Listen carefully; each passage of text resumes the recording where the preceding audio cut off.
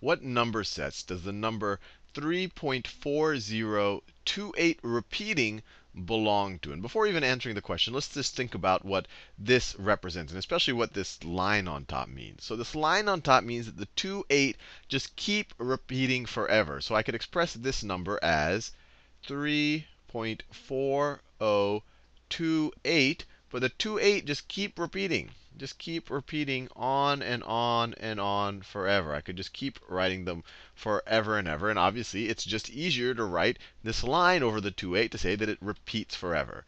Now let's think about what number sets it belongs to. Well, the broadest number set we've dealt with so far is the real numbers, and this definitely belongs to the real numbers. The real numbers is essentially the entire number line that we're used to using. And 3.4028 repeating sits someplace over here. If this is negative 1, this is 0, 1, 2, 3, 4. 3.4028 is a little bit more than 3.4, a little bit less than 3.41. It would sit right over there. So it definitely sits on the number line. It's a real number. So it definitely is real. It definitely is a real number. But the not so obvious question is whether it is a rational number. Remember, a rational number is one that can be expressed as a rational expression or as a fraction. If I were to tell you, if I were to tell you that p is rational, p is rational, that means that p can be expressed as the ratio of two integers. That means that means that p that means that p can be expressed as the ratio of two integers, m over n. So the question is, can I express this as the ratio of two integers? Or another way to think of it, can I express this as a fraction? And to do that, let's actually express it as a fraction. So let's say that, let's define x as being equal to this number. So x, x is equal to 3.4028 repeating. Now let's think about what 10,000 x's. And the whole reason why I want 10,000 x's is because I want to move the decimal point all the way to the right over here. So 10,000x, 10,000x, what is that going to be equal to? Well, every time you multiply by a power of 10, you shift the decimal one to the right. 10,000 is 10 to the fourth power. So it's like shifting the decimal over to the right four spaces. 1, 2, 3, 4. So it'll be 34,000 28. But these two eights just keep repeating. So you'll have you'll still have the two eights go on and on and on and on and on after that. They just all got shifted to the left of the decimal point by five spaces. You could view it that way. That makes sense. It's a little over, it's nearly three and a half. If you multiply it by 10,000, you get almost 35,000. So that's 10,000x.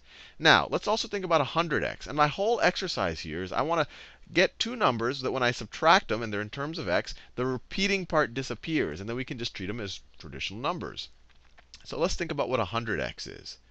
100x, that moves this decimal point. Remember, the decimal point was here originally. It moves it over to the right two spaces. So 100x would be 300. Let me write it like this. It would be 340.28 repeating. 28 repeating. We could have put the 28 repeating here, but it wouldn't have made as much sense. You always want to write it after the decimal point. So we have to write 28 again to show that it's repeating. Now something interesting is going on. These two numbers, they're just multiples of x. And if I subtract the bottom one from the top one, what's going to happen? Well, the repeating part is going to disappear. So let's do that. Let's do that on both sides of this equation. Let's do it. So on the left-hand side of this equation, 10,000x minus 100x is going to be 9,900x. And on the right-hand side, let's see, the, the, the, decimal part will cancel out. And we just have to figure out what 34,028 minus 340 is. So let's just figure this out. 8 is larger than 0, so we won't have to do any regrouping there. 2 is less than 4. So we will have to do some regrouping, but we can't borrow yet because we've had a 0 over there.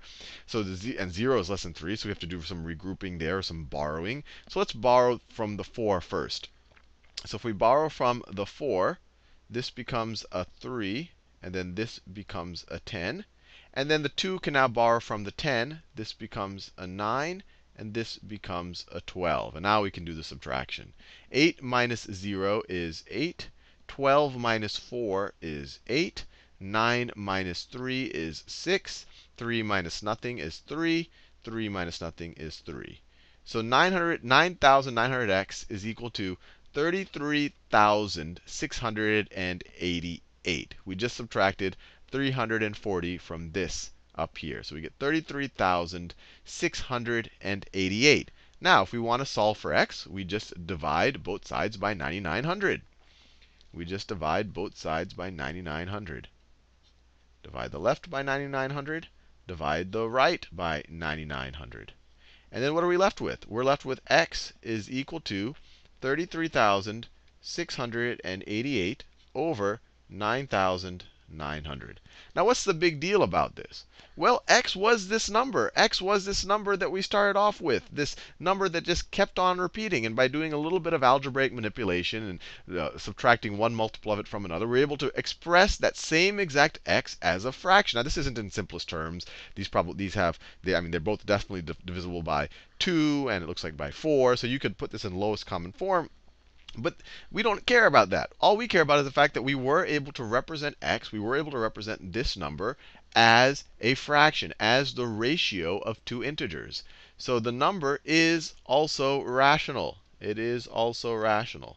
And this technique we did, it doesn't, it doesn't only apply to this number. Anytime you have a number that has repeating digits, you could do this. So in general, repeating digits are rational. The ones that are irrational are the ones that never, ever, ever repeat, like pi. Anyway, and so the other things, I think it's pretty obvious this isn't an integer. The integers are the whole numbers that we're dealing with. So this is someplace in between the integers. It's not a natural number or a whole number, which depending on the context are viewed as subsets or uh, of integers. So it's definitely none of those. So it is real and it is rational. That's all we can say about it.